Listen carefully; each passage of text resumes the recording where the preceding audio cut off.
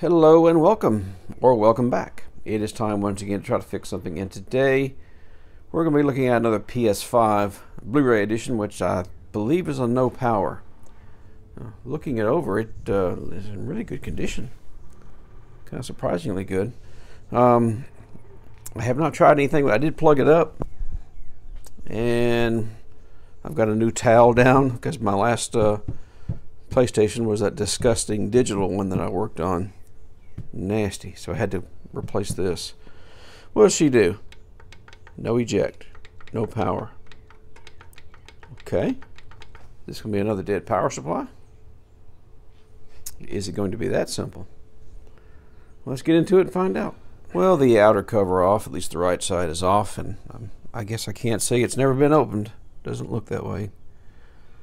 And I'm not sure what's going on with these marks on this cover but I'm seeing the majority of the screws. That's always a plus. Okay. Let's see if we can get this cover off. All right, our first problem. I went to unplug the fan, which I've never had a problem doing. You just wiggle it slightly. And yeah, that's been repaired already. And I pulled it loose. So it was not repaired very well. But yeah, the fan connector's been ripped out. You can see the uh, solder mask that somebody put over it. So anyway, no big deal. We can fix that. Just uh, passing the information along. Another problem to deal with. Alright, so I got that black cover off. It does look like this was repaired and it looks like they tried to use conformal coating or solder mask to hold down the connector itself. I think. She's not anchored very well, or she wasn't. Yeah. So yeah, we'll we'll deal with that. But right now she doesn't even turn on, so that's kind of the least of our worries. If I can get down to this 12 volt, you know, connector down here and see if we have any power. All right, rather than uh, take out all 800 screws just to get to those terminals, I swapped in a known good supply. So this is the supply out of there. This ribbon cable was not locked in and I don't think I ripped that out. I think those ears have been damaged. Anyway, so we may have an issue locking this back in there, but we don't need it for right now. That's just for the front panel USB ports. Um, and this is on this supply that came out. Looks a little like your old standard gray uh, thermal compound. So I'm hoping we haven't had somebody swap out the thermal, uh, you know, liquid metal for thermal compound. But anyway, one problem at a time. Uh, we have a known good supply in there. What does it do now? About the same as it was doing before. Nothing. Make sure this ribbon connector is down in there good and isn't damaged. Nope, no signs of life whatsoever. Okay, well, let's get on into it. Well, the metal shield is removed and it is an EDM10 main board. Uh, and I can confirm that we do have 12 volts. So, of course, this is my uh, spare supply, but uh, that's where we are. I don't see any obvious signs of previous work other than that. Um, like I was looking around the HDMI port to see if that had been uh, well, you know, now there is signs. It looks like where there's been flux right in there, isn't it? See how that's changed color? Flux does that. It like removes the oxidation.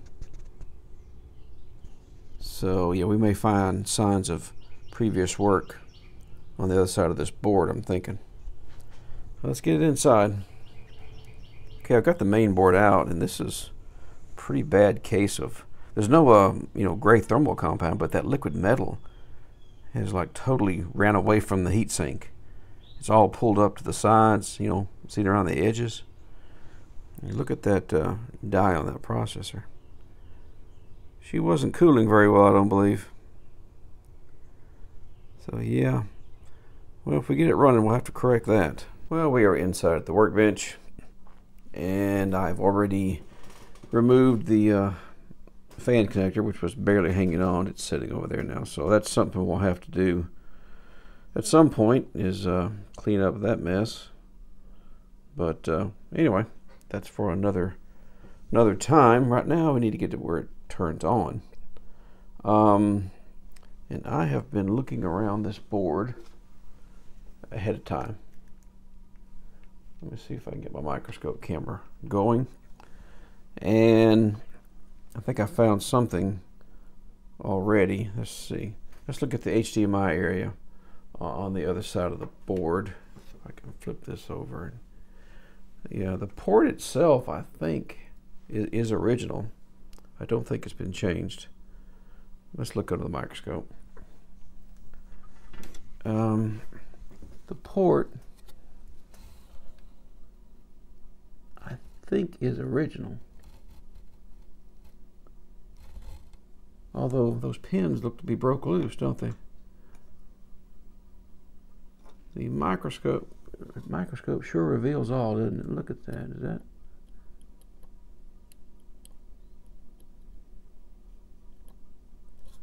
Is that broke loose?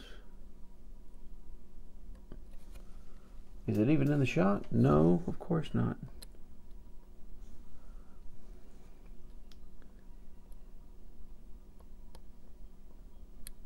Maybe it's secure. It just has that, you know, that dark ring under the under the uh, pin that makes it look like it's not connected.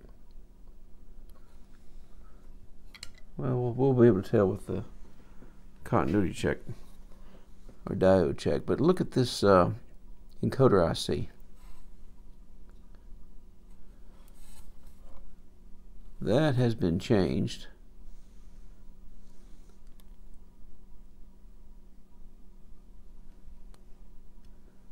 You can tell by the flux and the way that it's offset. And some of these pins do not appear to be soldered. Now, where, where'd it go? Where'd it go? There it comes. I'm trying to angle it where you can see better.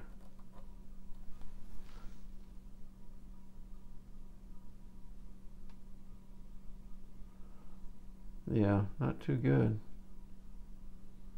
An attempt was made.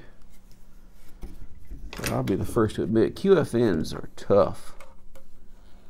They're not the first thing you want to learn on if you're trying to do this kind of stuff. They're not the easiest. Uh, a little stray flux around over some of this stuff, but uh, uh, hopefully none of this was messed with over here. So did somebody we had we had a no video problem and they went to open it up and they ripped the fan connector. I, I don't know the chain of events here exactly. And usually, if this encoder IC is is bad, you get the uh, single beep when you press the power button, but it won't turn on. It just beeps. Um, maybe it acts differently if there's um, you know some of the pins aren't connected on the encoder IC. I don't know. But usually if it just fails, you just get that single beep, which is not what we're getting. But this does look like a good place to start. Um, lift that, put it back down a little bit better, and see if it makes any difference. I'm just looking to see if there's any capacitors or resistors missing in the vicinity. Some of them have been bumped a little, but that's no big deal. But okay, that looked like a good place to start. Let's see if we can straighten that up some. And we'll go from there. All right, I lied. We're going to make a few diode checks before we take that thing off. Um, look under the microscope with me here around this encoder IC. And I'm in I'm in diode mode with my red probe on ground. You see these little bypass caps. Let me make sure you can see them. Yep. That measures good. 0.38. That's a dead short. That's a dead short. That's a dead short. And also over here, that one's fine. That's 0.3. That's on a different rail apparently. So one of the rails into here is shorted. Trying to make sure this stays in the shot. So that one's good. That one's shorted. That one's shorted. That's shorted. So yeah, we have a, uh, shorted rail, which may or not may or may not be this encoder IC. I, I'm going to guess it. There is some solder that's gone somewhere it shouldn't, but um, at least now I can take that off and I'll know to check before I put it back down. I'll check on some of these uh, some of these capacitors and see if that short is gone. Could be a bad chip, always a possibility.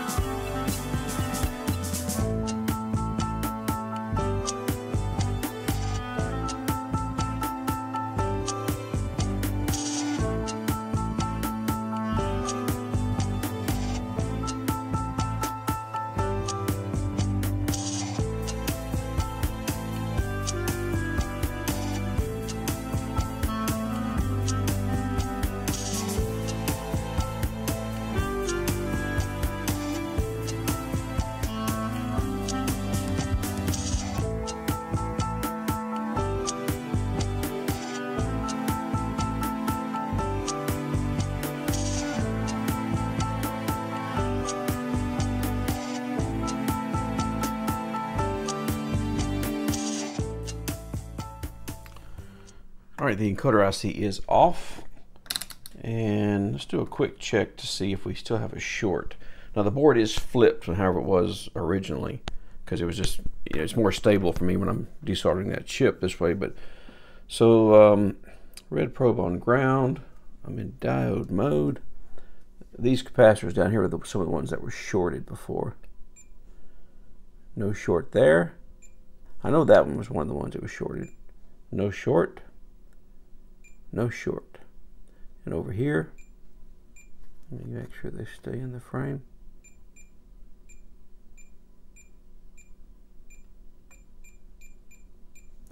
No shorts anywhere. All right, so the problem was the encoder IC. Now, is it a bad IC or not? I don't know.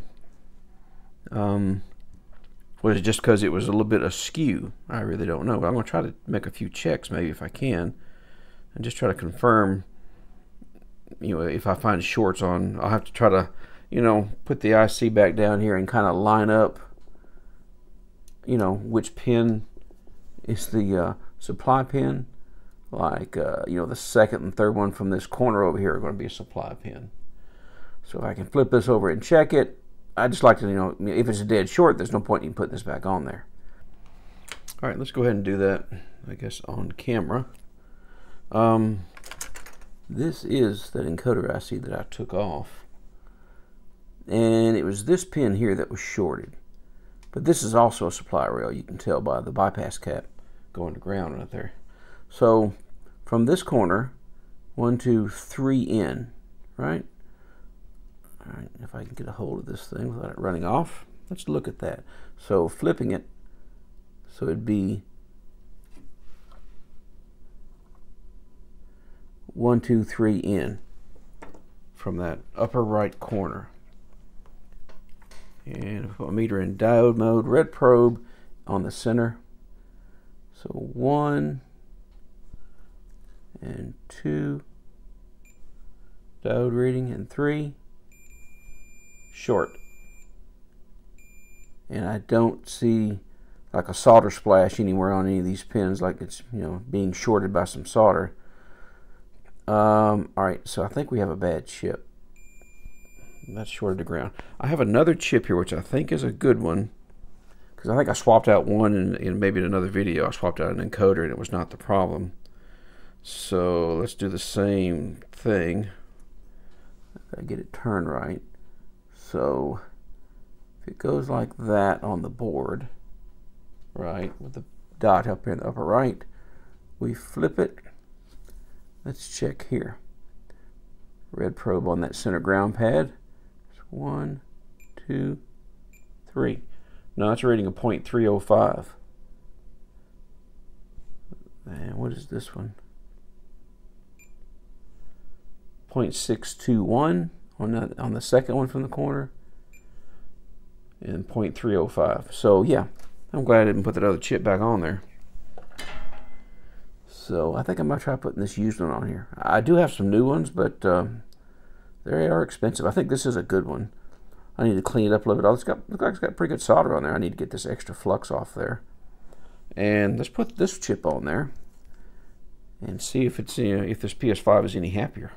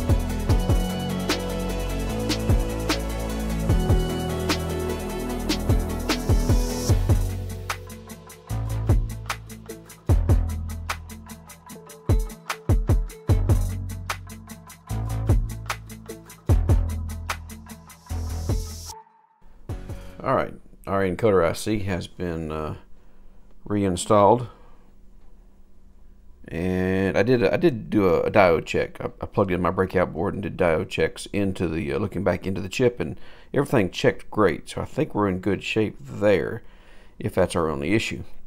I have noticed over here, see the signs of flux around F7502. Yeah, it's been changed out.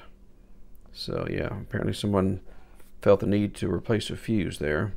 Something we need to keep in mind.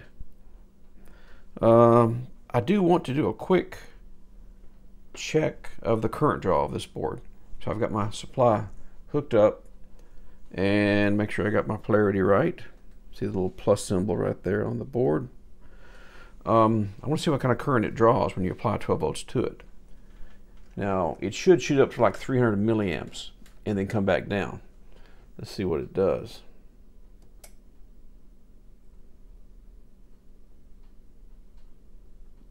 That's not good.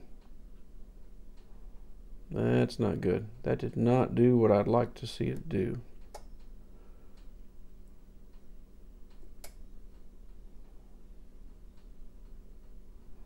Nope, we've got another problem.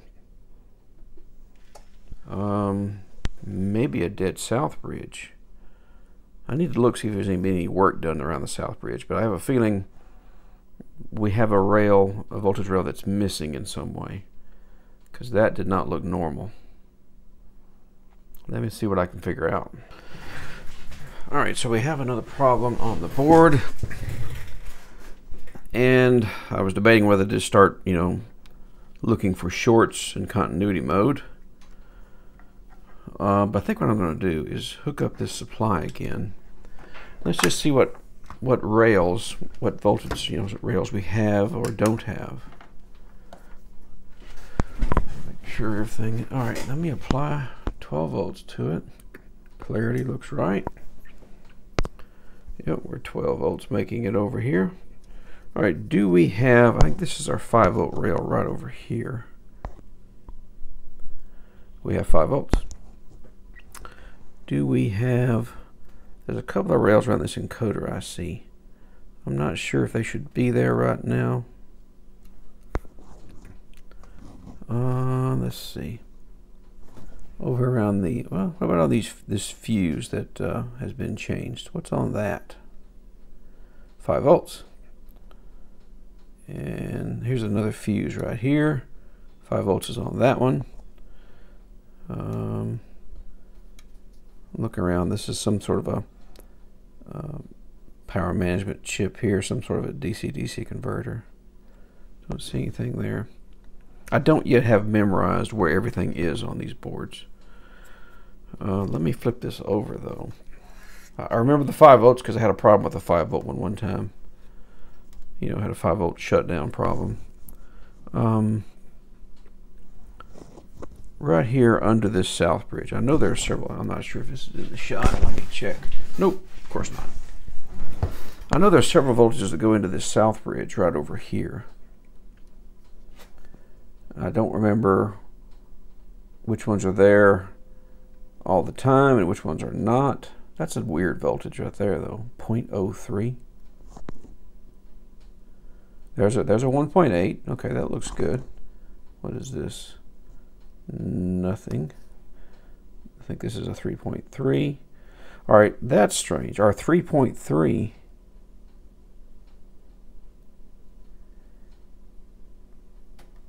Where'd it go? Measures 3.14, but that's the probably the battery voltage, isn't it? What is it over here? So yeah, our 3.3 is not up. Now there it is. There's 3.3. So it is there.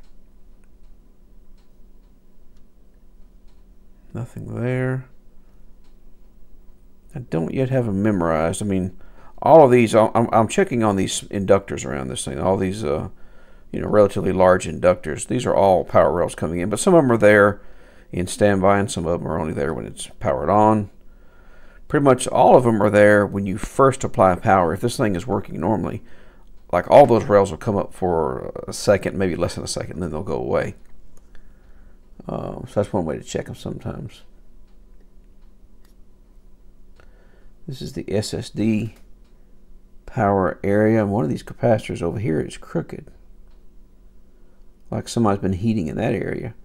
But I know this is generating power for the solid state drive built on the board generates like four different voltages. But I don't think it's there all the time.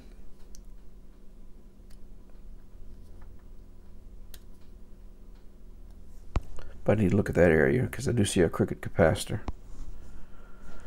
Uh, here's another fuse with 5 volts on both sides of it, so probably a good fuse.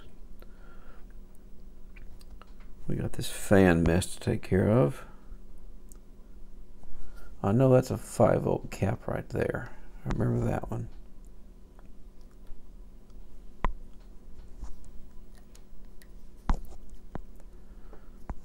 Hmm.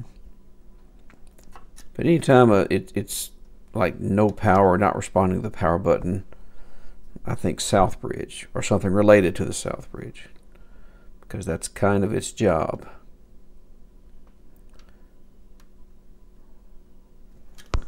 Let me turn off this power. Let's just go to continuity mode and check around the south bridge. Let me uh, get my leads nulled out. I'm going to put the black probe on ground for this. And I'm going to probe on some of these inductors around the south bridge. Nope, now this is going to have voltage on it here.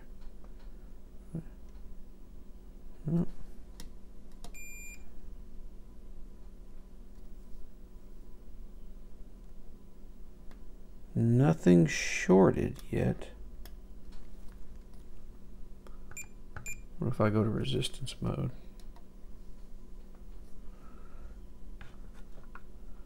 And null that out.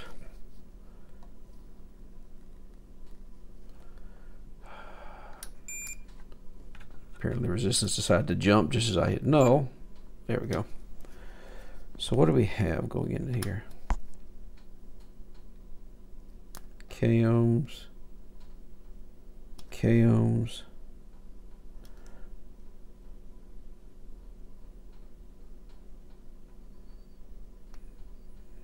I think that's got the 3 volts on it, so it's going to be a little...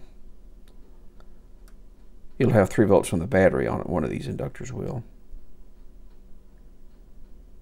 1.7. Not seeing any shorts.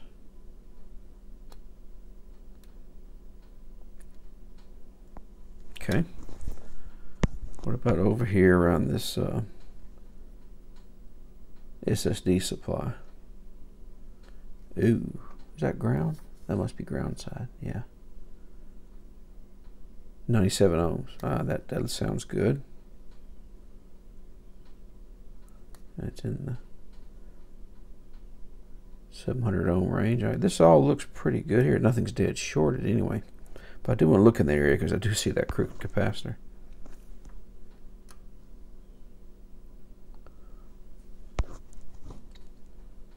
Hmm, okay. I'll keep digging. Alright, I've been taking a look around the area of the South Bridge and I wanted to uh, share with you what I'm seeing under the microscope.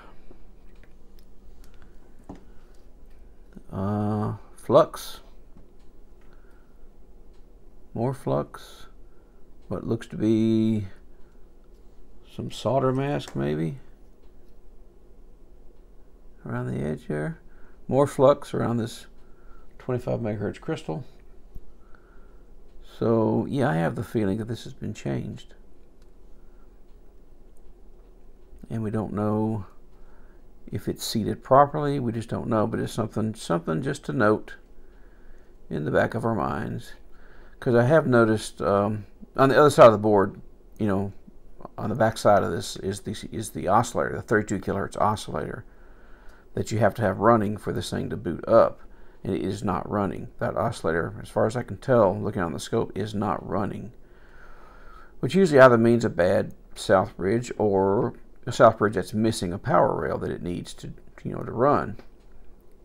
So yeah, but somebody's been in this area chasing this issue before.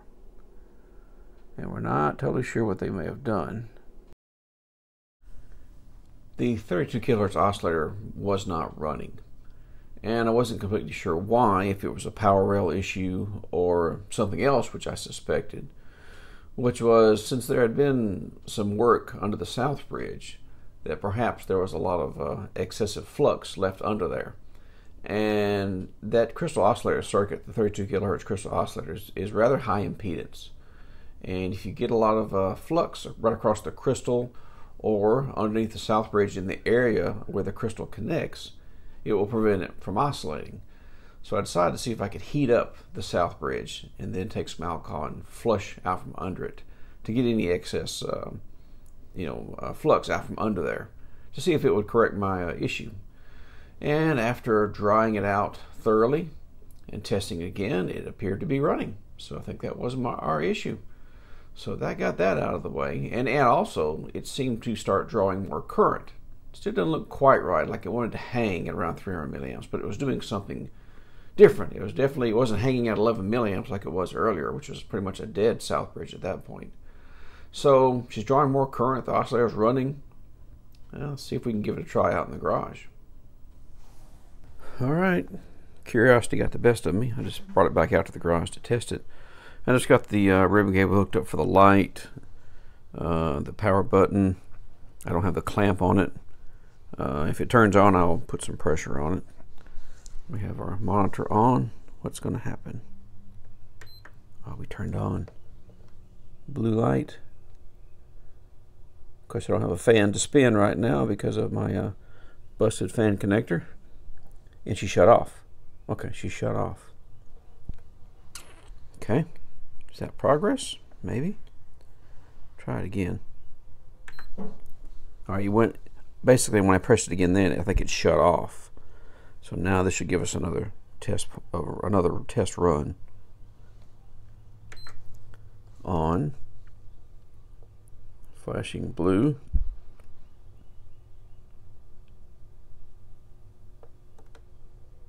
And we shut off. So I think we're we've made some progress, but we were still missing something. There's some rail that's not coming up somewhere. Something's missing. But that's uh, that's progress. I think our South Bridge is working, and I think our HDMI encoder IC back here is working because it won't turn on without it working. So we got another problem. Okay. All right, I am still looking over this board. Uh, when I was out in the when I was out in the garage, I did check. I would hit the power button, and I noticed that the APU voltages and the RAM voltages were not coming on. So uh, I've looked all over the board, not sure of anything specifically, but I have found an area of concern right over here underneath this blue goop. And let me share that with you. Um, this whole area, once I pulled up this blue, uh, you know, thermal compound, whatever it is, it's all been superheated. I mean, look at this capacitor how the plastic of it's melted. And look at this little ceramic capacitor down here, out of position. And then as you pull up more of it down through here, I think I saw, oh, right here, look down in there. If I can get it in focus. Yet another ceramic capacitor. Just kind of floating around down in there. Not sure how well that shows right in there. Yeah, so that's out of position. And there's, like every one of these capacitors has been melted. Just like they put the heat gun to this area and just put it on full blast. And I'm not sure why. Oh, there's where that capacitor goes right there. Right down in there. Right there. But why was this area, you know, tortured in such a way? I'm gonna have to get all this stuff off here because I'm gonna have to see. I mean, this is this has been melted. Been a lot of heat in this area. The entire APU power supply rail area had been just super cooked. So I had to end up going through and removing ICs and uh, retinning them, putting them back down. Some of them I was able just to heat them up and straighten them um, there was at least one bypass capacitor underneath one of the ICs. And there was, uh, you know, resistors I had to check. They were, everything in the circuit was suspect because it had been superheated and shifted around. But after a lot of uh, cleanup, uh, everything was looking pretty good. I couldn't find any obvious shorts, although the ICs had all been, you know, heated and moved around and shifted. None of them seemed shorted. So all I could do was clean up the area as best I could and replace anything that was missing, you know, making comparisons to a working board. And um, try it again. I mean, well, after installing the ICs, it looked good. So uh, I thought I would give it another try. All right, we are back out in the garage, ready to test this. I still have not cleaned up the uh, liquid metal. You know, it's not, it's still not pretty on that CPU. So but I do want to see if it actually tries to turn on or not. Let's see what happens. Blue light.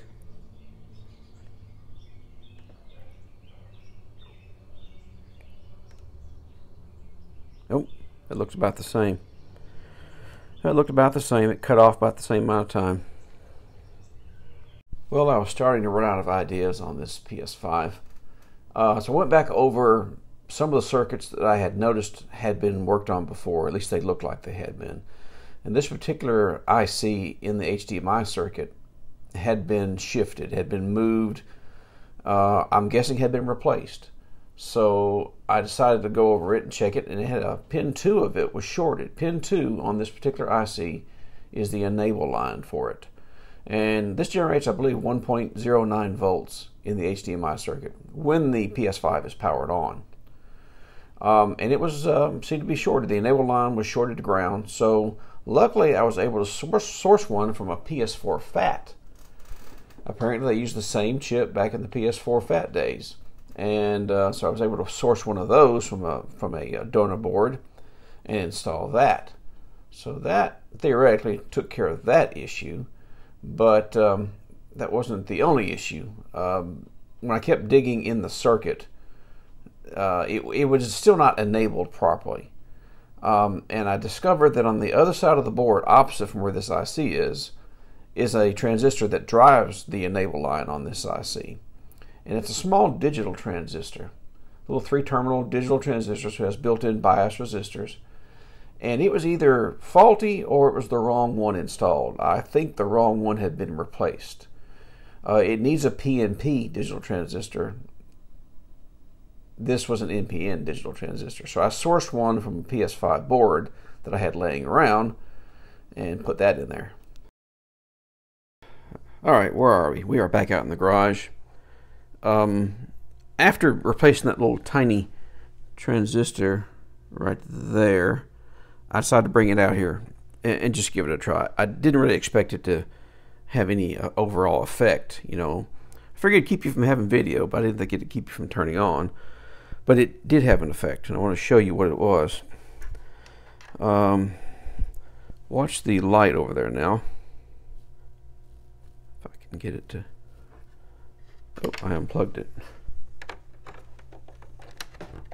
Okay. All right, I got my buttons down here. Watch the light. Quick shutdown. Hit the power button again, it, I guess it cuts off. A fast shutdown. It was a 10 second flashing blue light and then a shutdown. And now it's a very fast shutdown. Now, I don't know if that's an improvement, but it's a change. And I want to show you something else if I have enough hands. I'm not sure that I do. Let's try this. Our APU voltage that was missing earlier. Watch this. 0.9 volts. That was not there at all earlier. Nothing was there. So, the stinking HDMI circuit can prevent the APU core voltage from coming up. That's weird. So I think it's an improvement. I think that was the wrong transistor that was installed there. I think we have the right one now.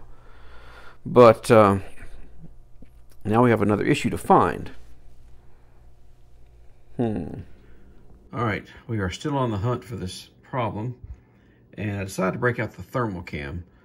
Although I really, I kind of felt like it was it was shutting down so fast, there'd be no way to see anything. You know, there was like no time for anything to heat up. But I may have been wrong it would appear. We're going to be looking right in this area right in here. This IC right here. Right there, the right one. Um, let me switch to the thermal cam and I'll show you what it's doing. All right, we are on the thermal cam now. And let me see if I can uh, get this board turned on. You can see what it's doing. Oh, that was off. Can we hit, well, press it again. Well, it decided to calibrate right there. All right, that should be off, and I'm going to try it right, again, right, right in there. See that? Gets hot really fast and shuts off. That is that right uh, IC, whatever it is. All right, I want to show you uh, what I'm reading. I'm in resistance mode. I'm going to look at this bottom right pin right here. Right in there. with nominal resistance. My uh, black probe is on the ground, and we have six tenths of an ohm. And on a good board, I've checked, it's like, I want to say 8 k ohms, several k ohms. So that should definitely not be shorted. So that's a problem. I don't know if that's the only problem remaining, but that is a problem. And let's see if I can figure out what that particular uh, chip is there. All right, I think I have identified our questionable part. Uh, you can see the, the, the lettering on it, 1FSF. And if I can zoom back out, turns out that is a Texas Instruments TLV 755. 75518 to be exact. 755 is the family, I guess, the series of them. 18 because it's a 1.8 volt regulator. And our pin that is shorted, it appears, is going to be the output on pin 5. You can see it right there. So the IC itself could be just fine. Um, but we don't know where it goes because it goes to a via and just kind of disappears. Does not go straight through the other side of the board, so it's going to be interesting to kind of find it. But uh, that is where our short is, pin 5 of this 1.8 volt regulator. Well, I decided the best thing to do would be to just remove that regulator and attach a wire at that output point and use my bench power supply to inject 1 volt at 1 amp in hopes of finding the uh, short with the thermal cam. And that's where our story takes a turn for the worse. The short was located under the APU, or inside the APU. You can see it in this picture, the upper left corner uh, of the top of the die there on the processor. Yep, our short is internal to the APU. So it's a it's a sad day, but that's just the way it goes sometimes. Well, unfortunately, that's how this one's going to end. No fix on this one. Um, I can't really fix a dead APU. So, um, but I did pick up some knowledge along the way. I learned a lot more about the HDMI circuit, you know, some of the boot sequence of this thing.